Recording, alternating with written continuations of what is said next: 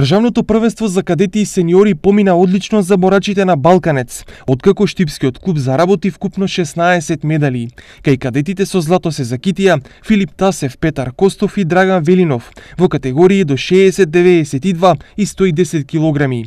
Сребрени беа Давид Мишев и Стефа Штериов до 65, односно 45 килограми, а бронзен беше Филип Стојков во категорија до 71 килограм.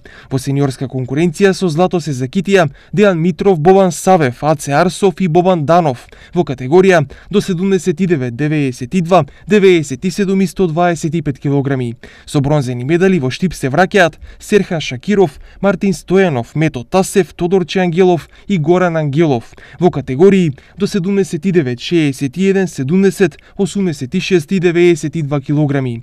Во екипна конкуренција, кадетската екипа на Балканет заврши прва, а во сениорска заврши на второто место зад екипата екипата на Лирија и пред екипата на Бучим. Од клубот потврдуваа дека се задоволни од постигнатите резултати и дека наскоро борачите кои освоија медали ќе бидат наградени според новиот правилник на клубот за одличните постигнати резултати.